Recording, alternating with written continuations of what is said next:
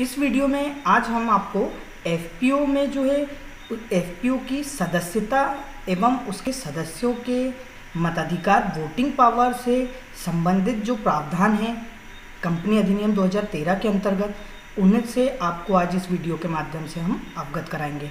तो चलिए शुरू करते हैं। तो देखिए, एक एफपीओ जो होती है, इसमें एक तो कोई इंडिविजुअल व्यक्ति मतलब कोई व्यक्ति जो उत्पादक है प्रोड्यूसर है इसके अलावा ऐसी संस्था या कोई प्रोड्यूसर इंस्टीट्यूशंस जो फार्मर्स के, किसानों के हित के लिए कार्य कर रहा है तो ऐसे प्रोड्यूसर इंस्टीट्यूशन या इंडिविजुअल व्यक्ति मिल के भी प्रोड्यूसर कंपनी की स्थापना कर सकते हैं या सदस्य हो सकते हैं।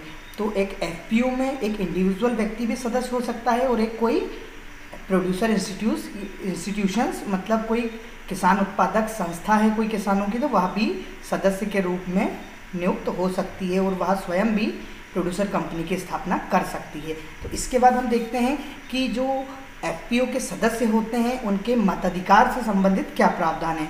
तो देखिए, जहाँ पे इंडिविजुअल मेंबर एफपीओ के सदस्य हैं तो ऐसी स्थिति में जो वोटिंग राइट है, जो मताधिकार है, वह सभी सदस्यों को समान रहेगा। मतलब सभी व्यक्ति को एक ही वोट या एक ही मत डालने का अधिकार होगा। एफ़ के प्रत्येक व्यक्ति को, चाहे उसकी शेयर होल्डिंग कितनी ही क्यों ना हो, ये अलग मैटर है। ठीक है? यह उसमें मायने नहीं रखाएगा। मतलब जो भी मेंबर है, उसकी शेयर होल्डिंग भले पाँच परसेंट, दस परसेंट, बीस परसेंट हो, लेकिन उसका जो है वोटिंग पावर एक ही रहेगा सिंगल वोट पावर इसके अलावा ए सी एफ़ जिसमें उसके सदस्य प्रोड्यूसर इंस्टीट्यूशन हैं तो ऐसी स्थिति में जो है प्रोड्यूसर इंस्टीट्यूशंस हैं, जो एफपीओ के सदस्य हैं, उनका जो व्यापार में एफपीओ के जो व्यापार में जिस अनुपात में उनकी भागीदारिता रहेगी, उनका कंपनी के प्रोड्यूसर कंपनी के बिज़नेस में पार्टिसिपेशन रहेगा, उसके आधार पे जो है,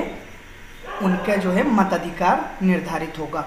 ठीक है, जो भी पिछले पिछले फाइनेंशियल ईयर का आपके ऑडिटेड अकाउंट रहेंगे, उनके आधार पे उनका पार्टिसिपे पार्टिसिपेशन डिसाइड होगा, उसके आधार पे उन्हें मताधिकार प्रदान प्राप्त होंगे। ठीक है?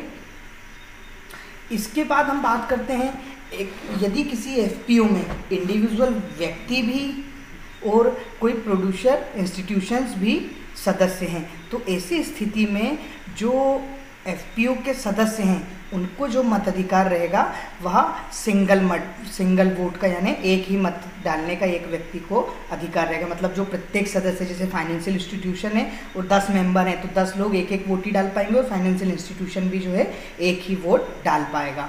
तो इस तरीके से इनके मताधिकार रहेंगे। मतलब फाइनेंशियल इंस्टीट्यूशन और इंडिविजुअल व्यक्ति मिलके अगर एफ़ बनाते हैं तो ऐसी स्थिति में भी उन्हें जो मताधिकार है, समान रहेंगे। मतलब सभी व्यक्ति को एक वोट डालने का अधिकार होगा।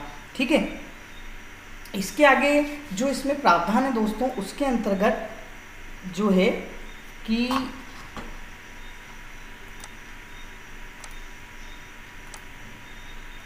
इसके अलावा एफ़ का जो आर्टिकल ऑफ़ एसोसिएशन रहता है, उसमें यह, उसमें जो है सदस्यों की सदस्यता पर कुछ मानकों या कुछ निर्धारित निर्धारित कुछ नियमों के आधार पर सदस्यों की सदस्यता को स्थिर या रिटेन किया जा सकता है।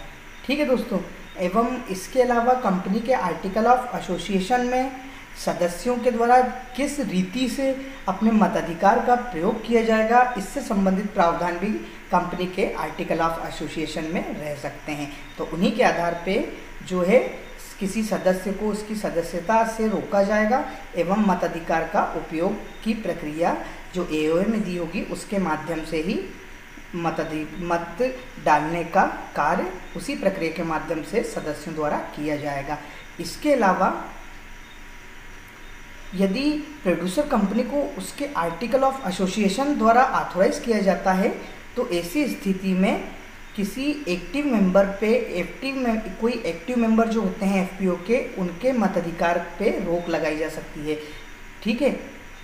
किसी भी जनरल मीटिंग या जनरल मीटिंग में मतलब जो कंपनी के एक्टिव मेंबर हैं, उनकी जो सदस्यता है, उनको जो वोटिंग अधिकार दिया गया है, उसमें यदि कंपनी के एओए में जो प्रतिबंध दिए गए हैं उन प्रतिबंधों का पालन करते हुए उनके आधार पर एक्टिव मेंबर की जो है मताधिकार को रोका जा सकता है।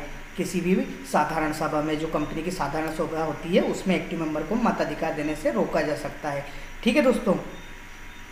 इसके बाद कोई भी ऐसा व्यक्ति जिसका प्रोड्यूसर कंपनी के व्यापार में कोई इंटरेस्ट हो, जो उससे कॉन्फ्लिक्ट हो मतलब उसके जो हित है, उससे कंपनी का जो व्यवसाय है, उसको कोई प्रभाव पड़ता है तो ऐसा व्यक्ति कंपनी का मेंबर नहीं रहेगा। ठीक है? ऐसी जिस दिन भी वह, उसका इंटरेस्ट कॉन्फ्लिक्ट हो जाता है, उस दिन से वह व्यक्ति एफपीओ का सदस्य नहीं रहेगा। ठीक है दोस्तों?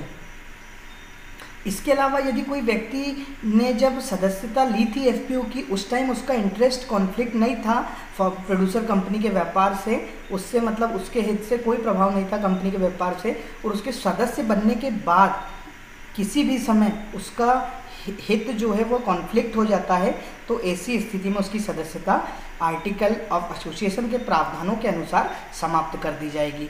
तो इस वीडियो में दोस्तों हमने देखा कि एफपीओ की सदस्यता से संबंधित एवं उसके मताधिकार से संबंधित क्या प्रावधान हैं, यदि हमारा वीडियो में जो आपको जानकारी दी गई हैं आपके लिए उपयोगी हो महत्वपूर्ण हो तो अन्य लोगों तक इसे पहुँचाने के लिए वीडियो को लाइक करें शेयर कर, करें एवं आगे नए वीडियो को प्राप्त करने के लिए हमारे चैनल को सब्सक्राइब करें। धन्यवाद दोस्तों।